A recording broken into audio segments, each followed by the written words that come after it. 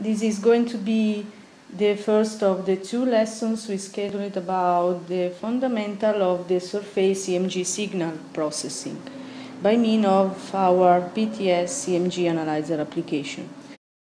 Well, we will start now with a very brief introduction about what is the surface EMG and about the main information that are commonly extracted from the analysis of the signals. On the first lesson, in particular, we will talk about algorithm to extract amplitude information, in particular about the full wave rectification and the smoothing or envelope algorithm. Then we will talk also about time and amplitude normalization of the signal. So, what is the surface EMG? As it has been written by Professor Basmajian and De Luca, we can say that the surface EMG is the study of the muscle function through the analysis of the electrical signals originated from the muscular contraction. But we will not go into more details about that uh, now. Actually, our interest is about the functional dynamic surface EMG that is a non-invasive technique to study about the neuromuscular activation of muscle during a movement task, basically during posture, functional movement, work condition, treatment, and training exercises or other. This is widely used in a lot of application fields for medical research, in orthopedic field, surgery, functional neurology, or gait and posture analysis, or in rehabilitation for, for post-surgery or accident treatment evaluation, neurological rehabilitation, physical therapy, active training therapy, and so on. Other fields of application are also about ergonomy, mainly, for example, for the risk prevention analysis and for the ergonomic design, for example. Or in the sport science field for the athlete training and rehabilitation or injury prevention. By measuring the EMG signal in general, we can extract different information. For example, we can understand if the muscle is active or not during a well-specific task execution. We can also understand if the muscle is more or less active in one condition respect to another condition, or if the muscle of one side are more or less active compared to the ones of the opposite side. And then, as we consider the EMG during a movement, we can understand when the muscle is on or off in the different phases of the movement. Then, we can try to extract the information about, for example, how much the muscle is active. And in some cases, we can also evaluate about the muscle fatigue. So we will learn during two, uh, these two sections about that. After having detected and recorded the electrical activity of the signal coming from, uh, after having recorded the activity coming from the muscle during the contraction, we can investigate about muscle function.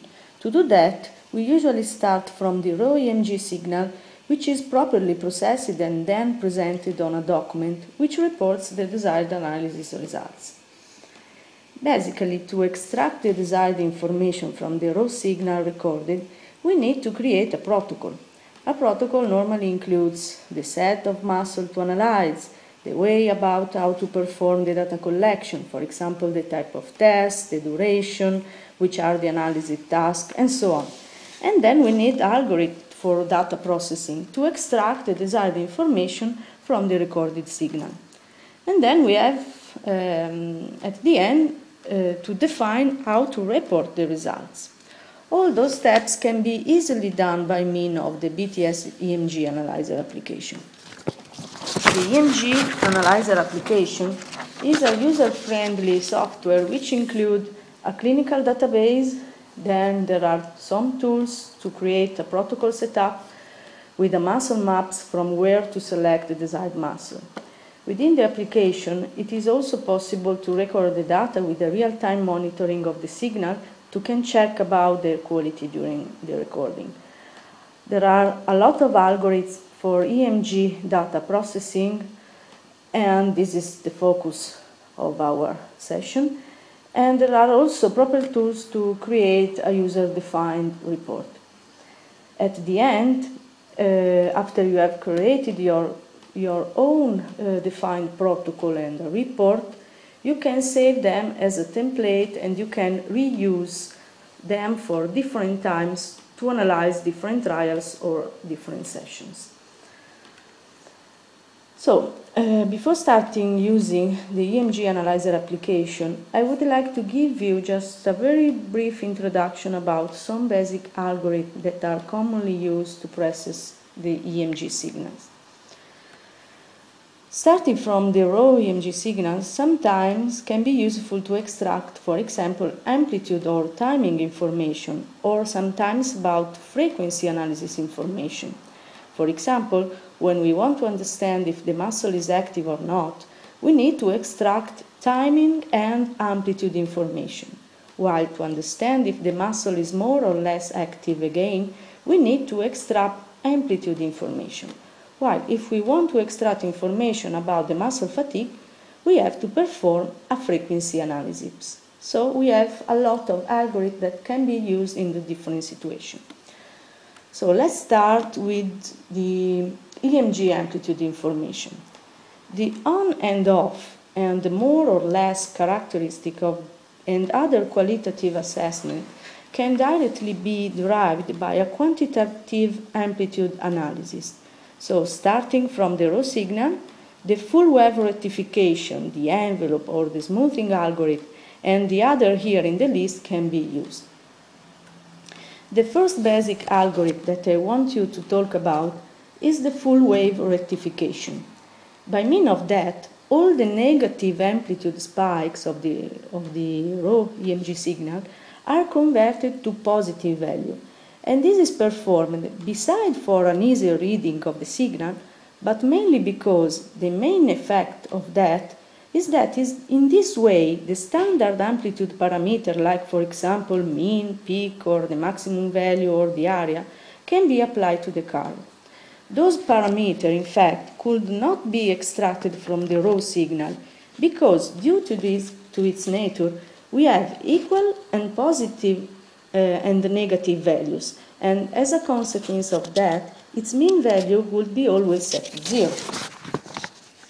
So starting from the rectified signal, the average rectified value, commonly called as the ARV value, can be easily, for example, computed as the mean value of the rectified EMG signal over a time t. And this sometimes is used as an amplitude estimator of the signal. So now I'm going to show you how to perform the full wave rectification within this smart analyzer application. So let me start with this example where imagine that we want to rectify the EMG signal 1 that you can see in the figure. All the algorithms uh, available to process the EMG signals are inside this block. You can see that we have a lot. The one that I'm going to use is the rectify track. So select that. You have to type the name of the output. So for example, EMG signal 1 rectified. And then to perform the rectification, you have just to drag and drop the signal into the operator input. And this is the results. Okay, so as you can see now all the signal, all the, the value are positive. The second option that we have is the rectify track around mean. This second operation can be useful if you have a signal like that. So as you can see, in this case, the baseline of the signal is not set to zero, but we have an offset.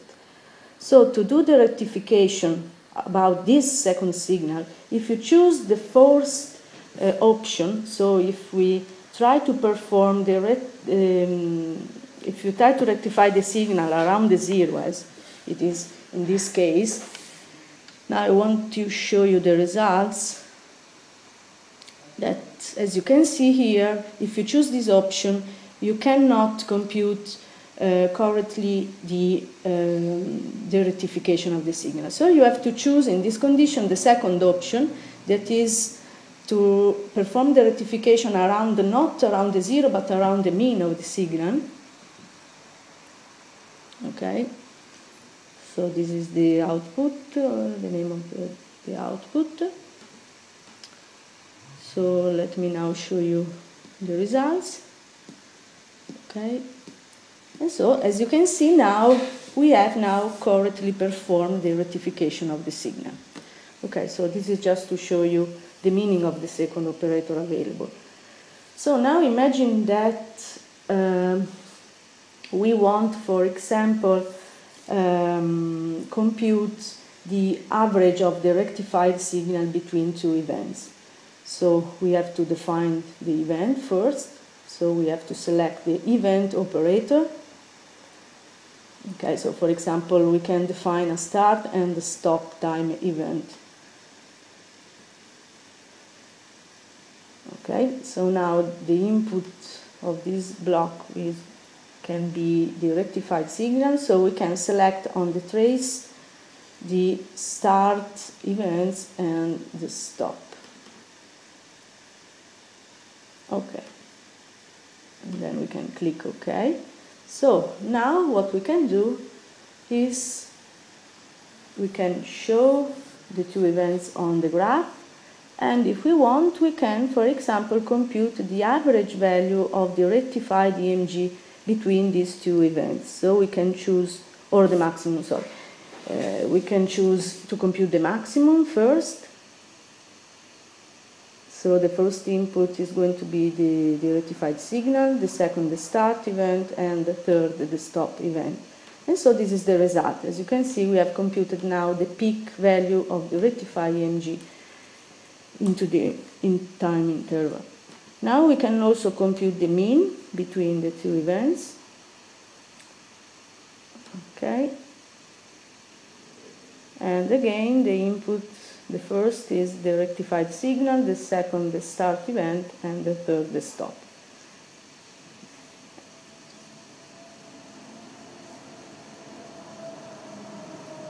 Okay, and now we can also show, add to the graph also the mean value of the signal. Okay, so this is uh, just an example about the two operator available into the smart analyzer application to perform the full wave rectification of the signal. Well, the second algorithm that I want to talk you about is the envelope, which is used to extract, in general, from the raw signal the more reproducible shape of the EMG removing the non-reproducible part of the raw signal. This is useful when you want to compute, for example, the average pattern of the signal between different trials and uh, in case you want to compare trial belonging to different subjects.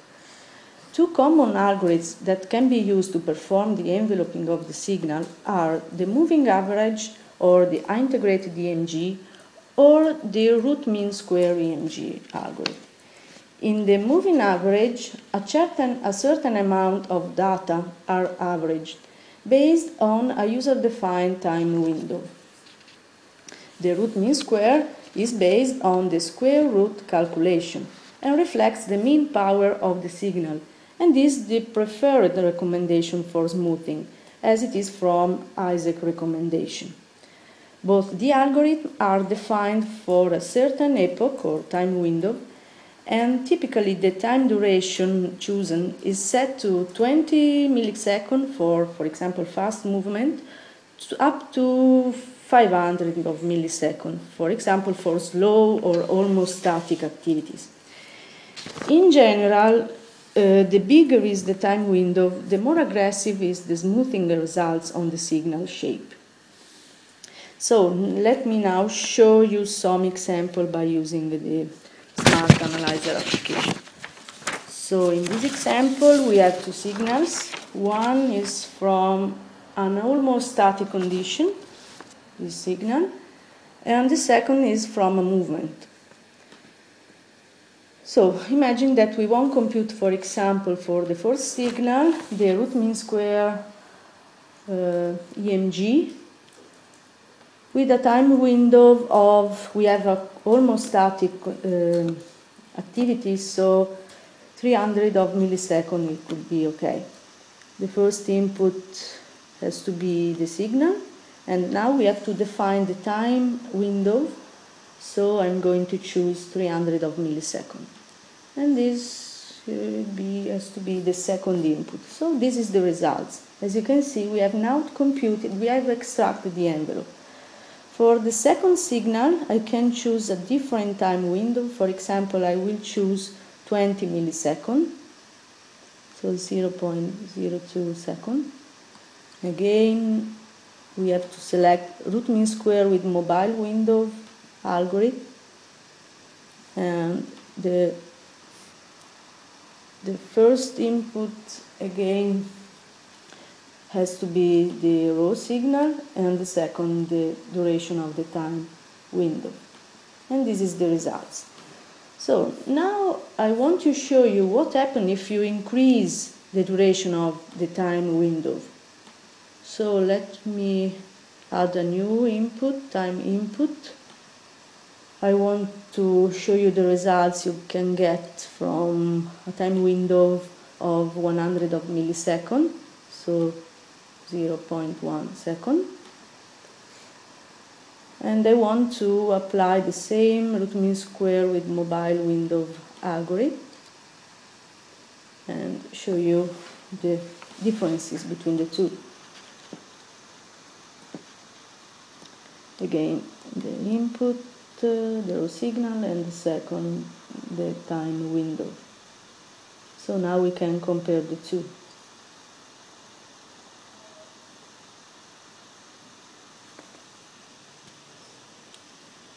First and the second. So as you can see, we get um, um, the smoothing effect is higher because we had increased the time window. So what happens if we increase too much the duration of the time window. So for example, now I'm going to choose to show you the results uh, with a time window that is too high, so it's, and it has been set to one second. So as you can see now, the blue envelope that we get is not correct because as you can see, we lost some information. So this is just to remind you that you you have to set up properly the duration of the time window when you perform a root mean square algorithm.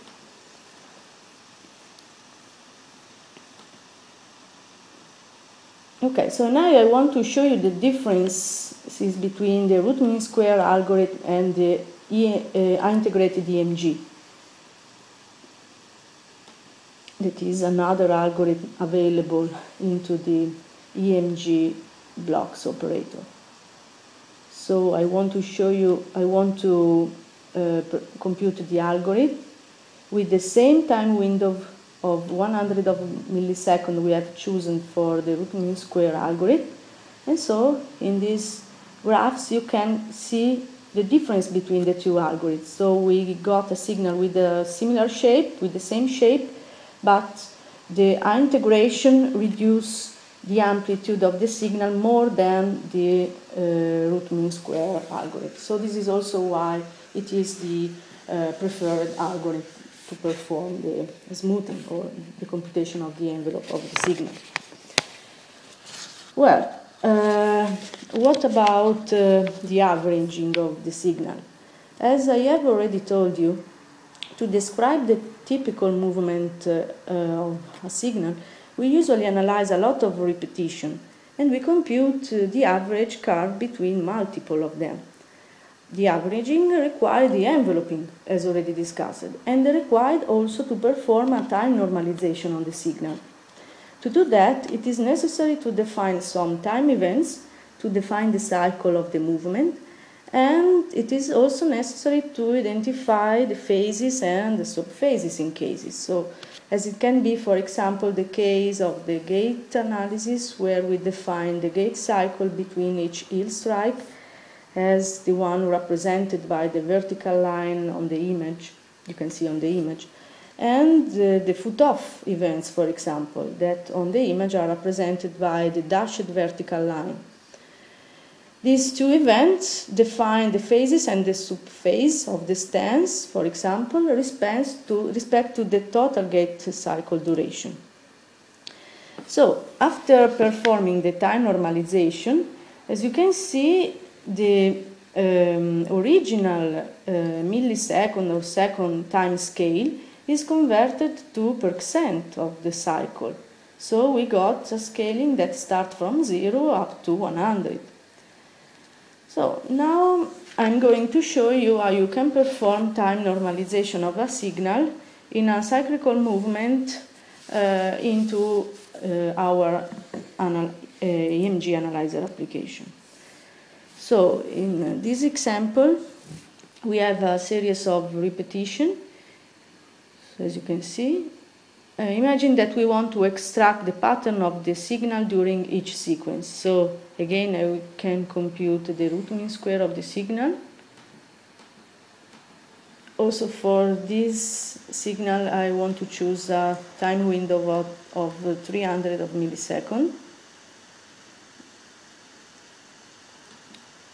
As we did before.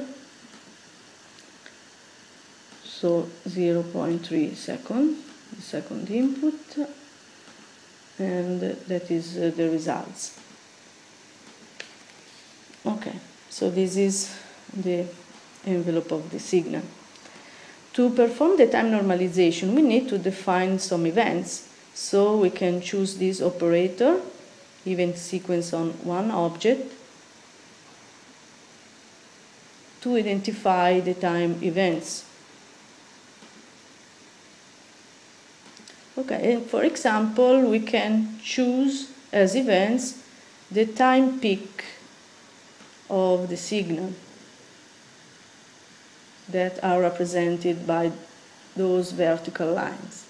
So now we can compute the time normalization, the, the signal normalized respect to the duration of the cycle so we can choose the even defined cycles operator,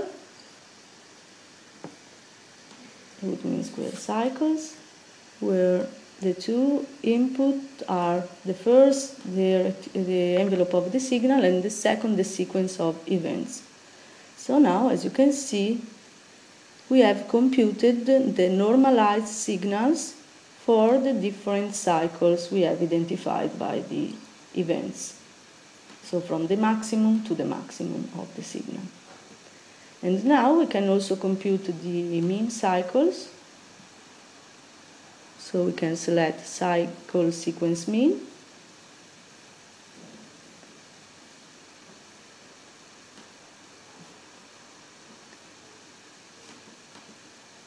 And the input, in this case, are all the uh, normalized all the different cycles. And so in the graphs you can see the results about the computation of the mean uh, cycle and stand, its standard deviation. So in this case, as you can see, in this scale, uh, we changed the time scale from time, so from seconds to 100%, from 0 to 100%. Okay? So, um, now uh, we will talk about amplitude normalization. Uh, to um, perform the quantification of the myoelectric signal comparison uh, that we can made among muscle, among different subjects and different tasks, we can use uh, a normalization procedure we can uh, we can to perform the the normalization we can use as a reference value for example or one single value as it can be for example the internal peak value or the internal mean value. Otherwise uh, we can consider for example the EMG level of a certain specific task as a reference activity and the most common method uh, that we know of, about normalization is to use the isometric maximal voluntary contraction. But we will discuss about that on the next lesson. The, also, when you perform the amplitude normalization, you get that the myoelectric values that you get are expressed as percentage of this value. So as you can see, this time of algorithm doesn't change the shape of the EMG curves, but only the Y scaling. So let me now show you also an example about that. So this is the, uh, the signal that we want to normalize. The first thing again is to uh, compute the root mean square, so to compute the envelope again with the same algorithm. And also in this case, I'm going to choose a time window of 300 of millisecond. So we have to define the time window input. Okay, and now I can show you the results. So imagine now that, for example, we want to normalize the envelope of the signal respect to the peak value, so respect to the maximum. So now we can compute the maximum. As first, we have to define, to identify the events, the time events which correspond to the instant where, when we have the maximum of the signal. So this is the peak and now we can choose this operator that is under the event operator even defined value to define the value of the peak. Okay so the input is the, the envelope of the signal and the event the second. So this is the value of the peak. So now if we want to if we want to perform the uh, normalization, we can choose the scalar and the operator ratio between two objects. Okay, where the two input are the first the root mean square of the signal and the second the peak value. then, if we want to get the value expand to Uh, 100%.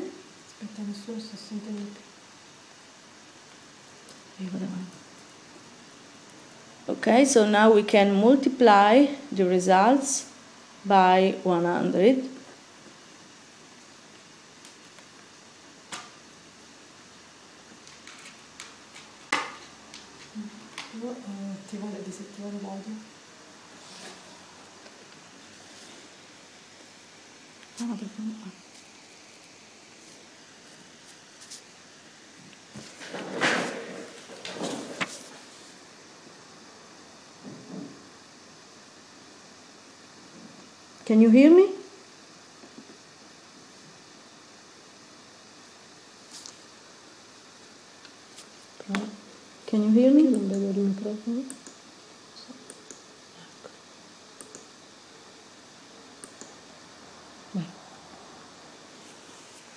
Can you hear me now? Okay, so I don't know if you have been able to hear all the the last example. So I don't I don't know if you want that I repeat or not. Okay. Okay, so I'm I'm going to repeat. Give me just Okay. So this is the example about how to perform the amplitude normalization of the signal. So this is the EMG signal that we want to normalize, to analyze. So we can start with the computation of the root mean square of the signal to compute the envelope. Also in this, um, this case I'm going to choose a time window of, of 300 of milliseconds. So we have to define again the time window and I'm going to set the time window to 0.3 seconds. Okay, and that is the results.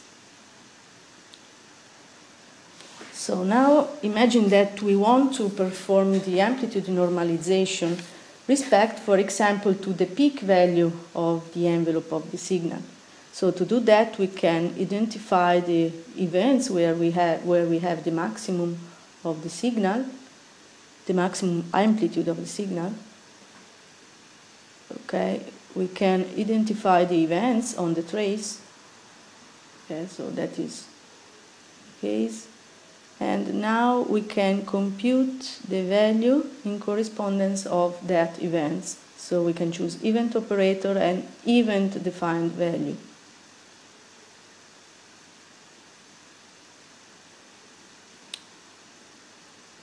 So the first input is the envelope of the signal and the second is the events which represent the peak time. So that is the peak value so now if we want to perform the normalization of the signal, we can go into scalar and choose ratio between two events operator.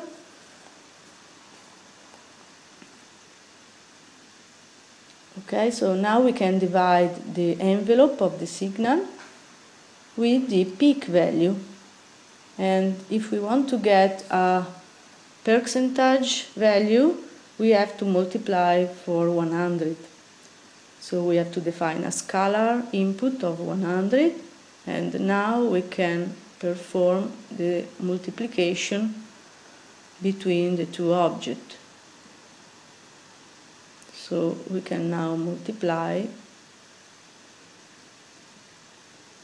the, the two scalar value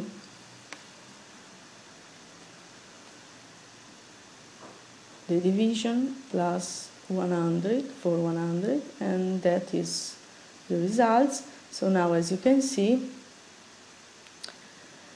we have changed the scale amplitude of the y-axis from 0 to 100 up to 100